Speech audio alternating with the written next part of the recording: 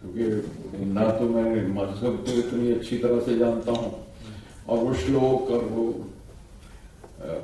जो जिनके मतलब कुछ अब समझ में आए, जो सुनते चले आए इतने अरसे से अब पता चला उनके रेफरेंसेस समझ में आए तो बड़ा अच्छा अंदाज हुआ, बहुत अच्छा लगा।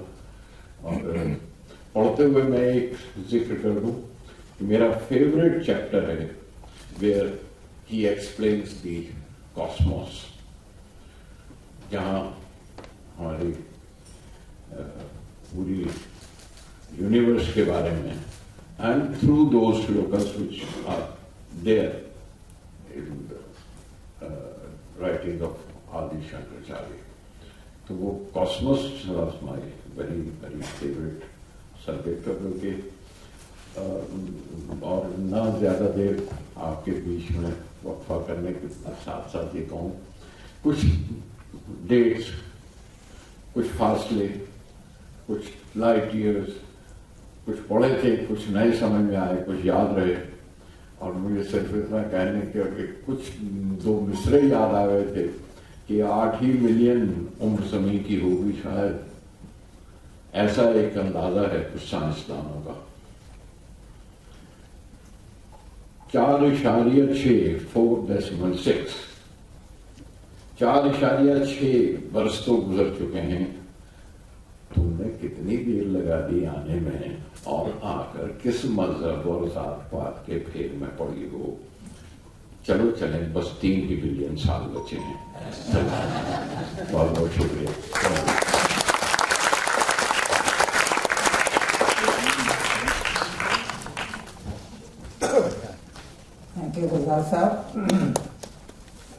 Sahab. Is the mic? Is the mic? Yes. You know, Gulzar Sahab has, has this ability to say the most complex things in a very simple way. It's a real gift.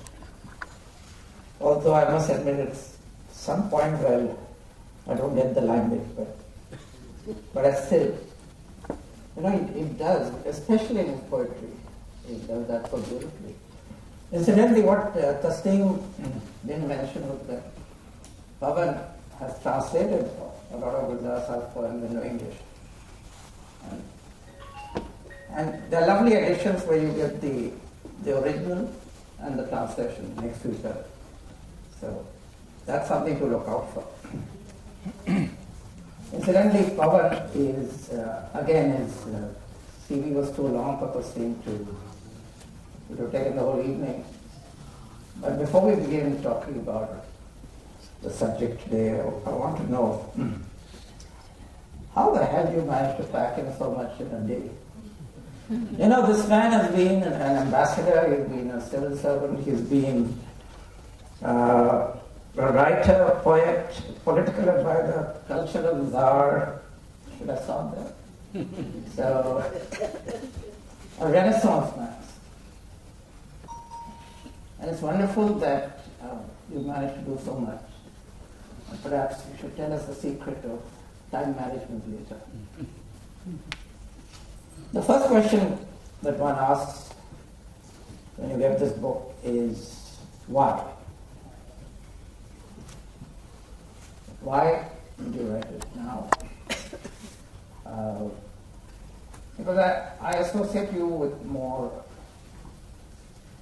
not material exactly, but more things of the earth rather than of the spirit. Therefore, it came as a surprise.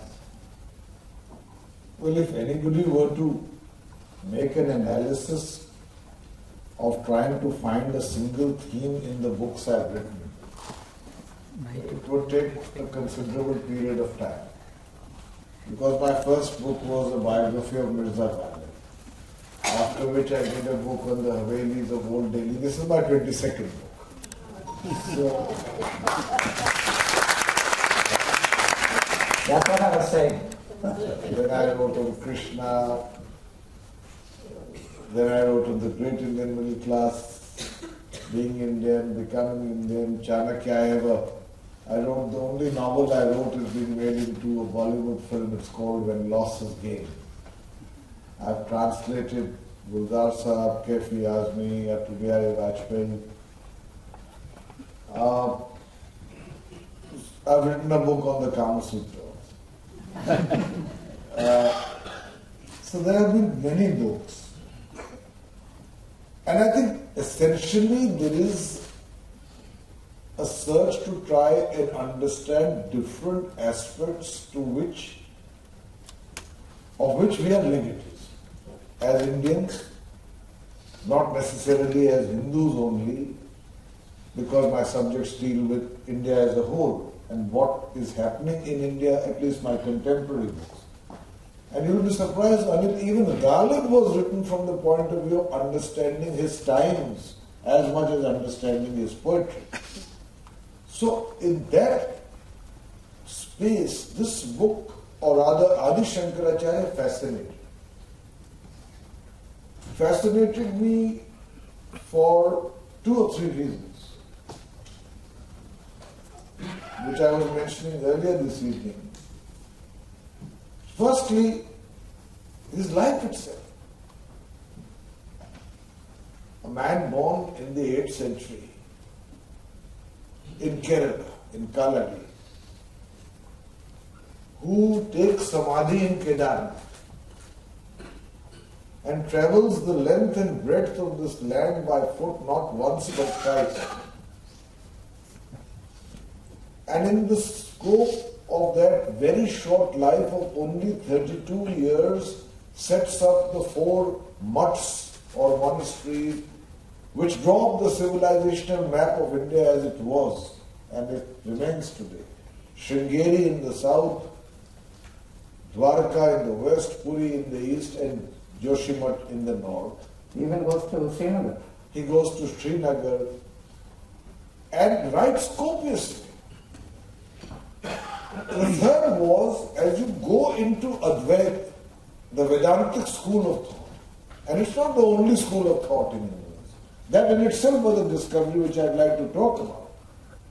But if you go into the Vedantic school of thought, the sheer compressed cerebral energy in trying to understand who we are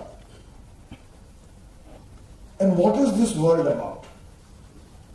It's a question all of us, in moments of reflection or when we pause from the avalanche of municipal concerns that rule our life, uh, when we pause or think, it's a question that confronts us. Why?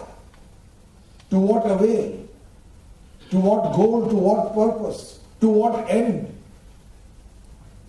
Is there anything beyond the contingent, the immediate, the qualified, the conditioned? Or is there something more?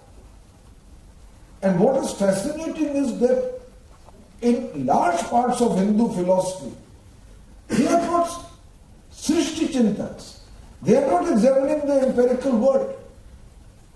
Adi Shankaracharya and many others were Paramarthik Chintaks. Their concern was not with God, their concern was what, what could possibly be the ultimate truth.